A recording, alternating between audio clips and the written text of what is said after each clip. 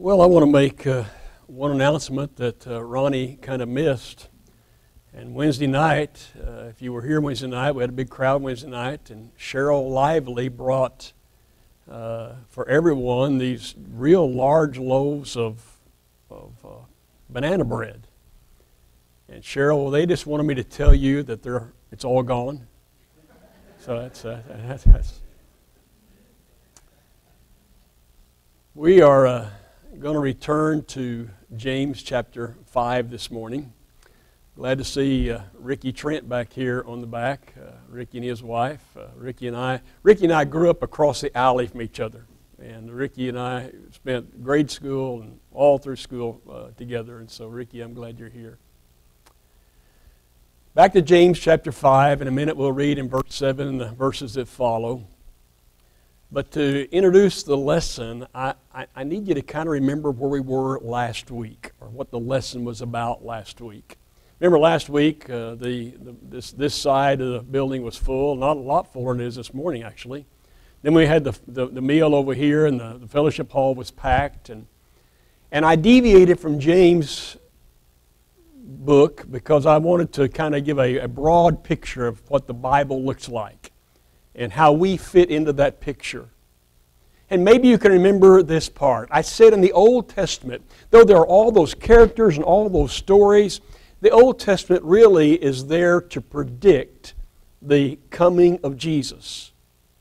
And then you open the New Testament and you read the first four books. We call them the Gospels Matthew, Mark, Luke, and John. And, and, and they are there, it seems, to present Jesus to us. And after that, there's a book of Acts. The book of Acts is extremely unique. There's not another book like it in all the Bible. It, it preaches Jesus. That book is about preaching Jesus and how people responded to the preaching. Now, after that, all the letters, all the letters are written to those of us who are Christians, and they're telling us, explaining Jesus to us as to how we're to live in a world that's dominated by the influence of Satan. But in that lesson, I left something out. In that lesson, I left one major thing out. Do you know what it is? There's one other major thing on the calendar of God that I left out. Now, while you're thinking about what that is, I, I do want you to know I'm glad all of you are here. We really do have a, a, a, nice crowd this morning, and we have people visiting with us. Some who were here last week have come back this morning, and it, it just, it's just wonderful to have all of you. And I hope by the lesson that you'll be reminded as well as encouraged and blessed I've learned lately that I'm not very good at keeping my own calendar. I've had the luxury for years of having other people keep my calendar. In fact, on most Monday mornings for years and years and years, more than 20 years, every Monday morning they would put a, a, a sheet of paper in my tray and it would maybe several sheets of paper, and it would tell every event I had to be at that week and every speech I had to give, and give details and give locations, and give directions, and now I'm by myself. Two times, two times in the last few weeks, I've had to make very embarrassing phone calls.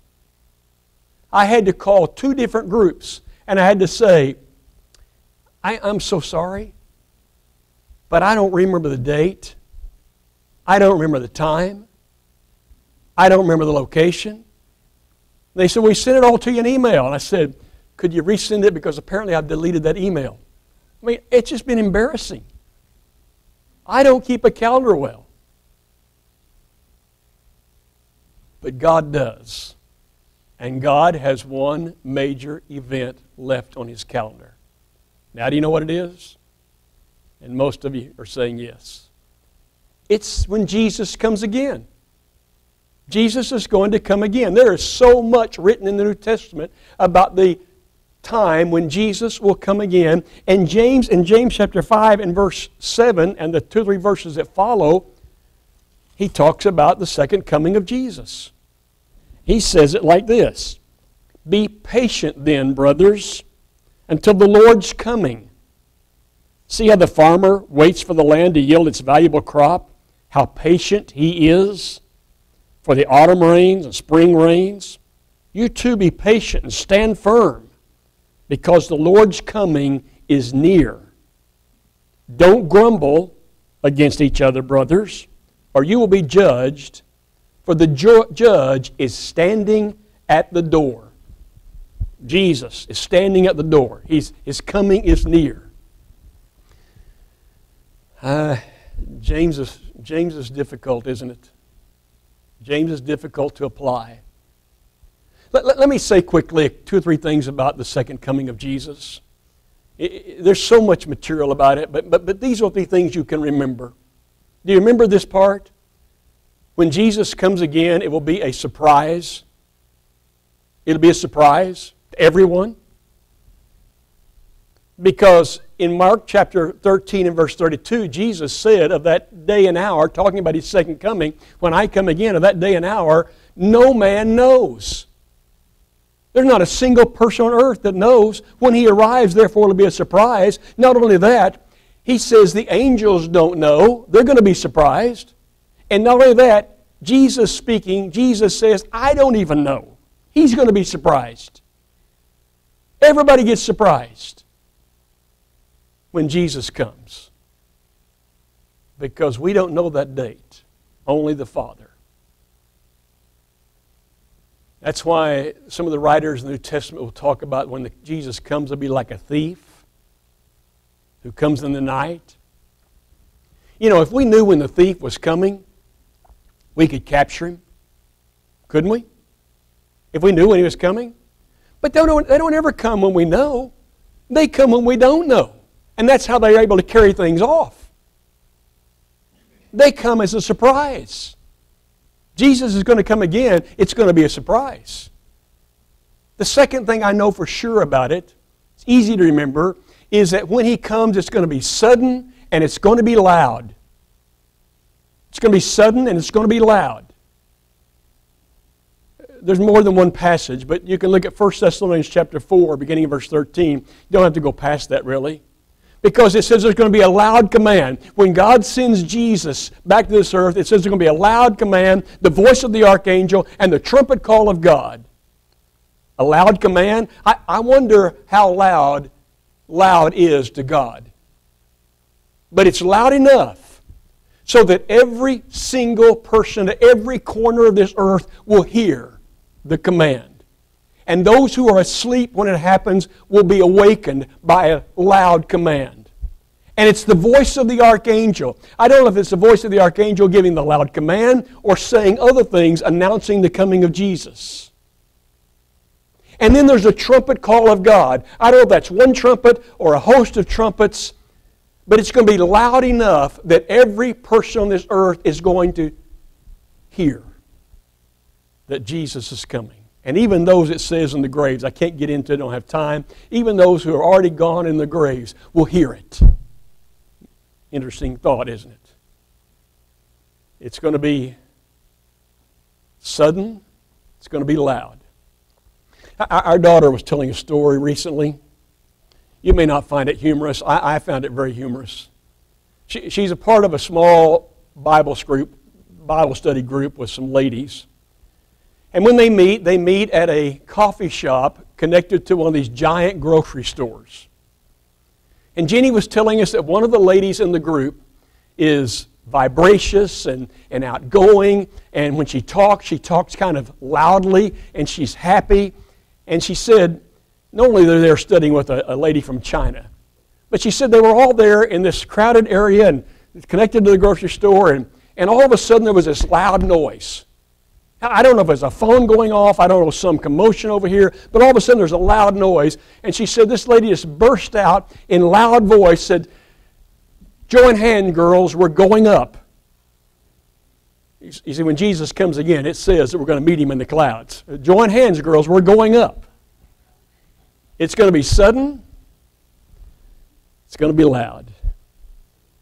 And then what I know is that you and I are supposed to view that day right now with anticipation and urgency. Now, that's a bit of a problem, though, isn't it? That I view it with urgency and anticipation. I am barely in my 60s. Now, I know you're wondering what I mean by that. So, you can be 61 or 62 and be barely in your 60s. Or you can be 68 and be barely in your 60s, okay? I'm barely in my 60s. And I'm going to tell you something. He hasn't come. All these years, he hasn't come.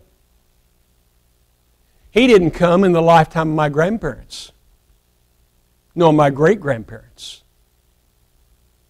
In fact, when he comes, it's going to be a surprise and it's going to be sudden, and yet I'm supposed to live with a sense of urgency? How in the world do I do that? How in the world do I do that? And that's exactly what was happening when Peter was writing his second letter. I don't know how, I didn't, I didn't look up the dates they think it might have been, but it's 50, 60, 70 years after the death of Christ. Just kind of how long I've lived on this earth. And, and he says in chapter 2 of 2 Peter, the scoffers are saying, the mockers are saying, well, look, the Lord said he was coming soon, and it's been all this time, he hasn't come. It must mean it's not ever going to happen. And Peter says, you know what? In that famous verse 9, chapter 3, 2 Peter, the Lord's not slow concerning this promise of his coming, as, as you men count slowness. He's patient or long suffering not willing that one person would perish, but that all would come to repentance. And so James says that I am supposed to live right now knowing that He's coming, anticipating it, and I'm to be patient. I'm to be patient as I wait. Just like the farmer, and everybody in this audience knows the farmer, waits for the spring rains and the fall rains, or plants a seed and hopes it rains and waits for the harvest. That's what Ben spends his life doing, planting and harvesting. I'm not sure there's anything in between, but it's planting and harvesting all I see Ben doing. Uh, be patient. As we are so very aware that Jesus is going to come again, the judge is standing at the door. Now, I have to say something in these last three or four minutes about what James is really talking about. I, don't know if I ever want to study James again in my life. I'm serious. James has just been getting right down into the place where I live constantly and been messing with my life. In trials, he told me how to deal with trials. With my tongue, he told me how much trouble my tongue could get me into. I, have been being careful. I, I haven't been doing it perfectly, but I've been careful. I haven't been telling stories about you lately. I mean, I've been trying. And, and James talks about that faith that'll be shown by your deeds. I, I think about that. I mean, he talked about the wisdom of this world being selfishness, and I'm thinking, Ken, you got to quit being selfish. I want you to listen to what he says now.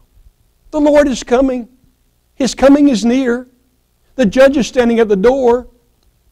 So will you stop your grumbling against one another?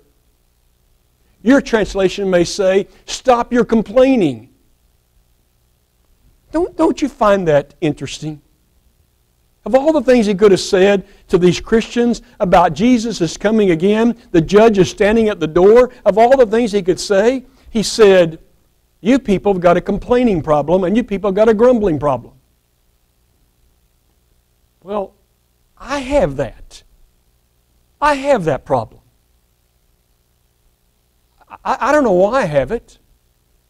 I think partly it's out of habit. I think I complain and I think I grumble out of habit. But it's, it's more than that. You and I,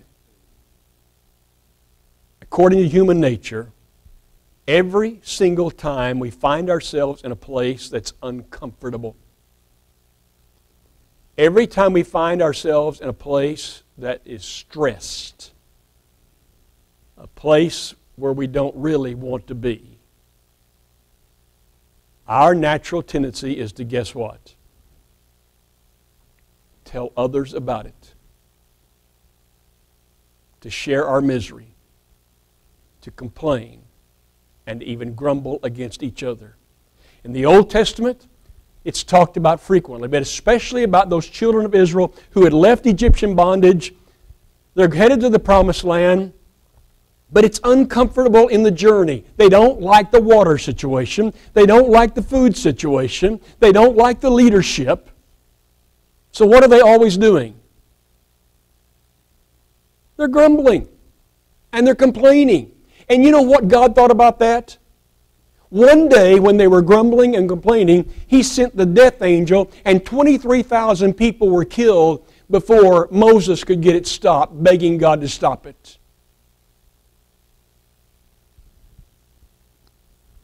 And these Christians to whom James is writing are falling into the trap of complaining and grumbling and sometimes grumbling with one another. That's what they're falling in the trap of. And James takes this lofty, giant subject. He says, Don't you know the Lord's coming again? Don't you know He's the judge? Don't you know the judge is standing right at your door? and yet you dare to complain about the spot where God has you at this moment? I want to be careful of that statement. I know I frequently find myself in life where I don't want to be. And you find yourself in positions in life where you don't want to be. Is that correct? That doesn't mean I can't work to get out of it. But apparently, life happens like that to all of us. And what God is looking for is for me to look to Him and say, I'm uncomfortable and I don't like this. Will you deliver me? Will you help me? Instead of me going to one of you and moaning and groaning and whining and complaining and not liking the preacher, not liking, I know you like the preacher, not liking the elders, not. You see how that works? talking about one of the grandest subjects of all the Scripture. And James uses it, the, the only writer in the New Testament that uses it, to say, Are you aware that Jesus is coming in? Are you aware the judge is standing at the door? So will you stop your complaining and grumbling? That's how James uses it. Jumps right in the middle of my life, how I live my life every single day, and finds something that he can take me to task over. And he's done it again.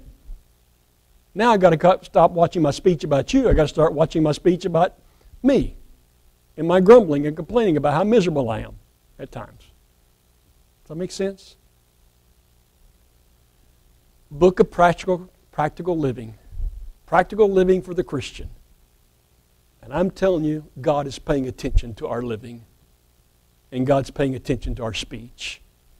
He wants us to live like we belong to Him. Always, always the question is are you willing to try that? Are you willing to do it? We offer a last song. Anyone who needs to respond, we invite you to come while we stand while we sing.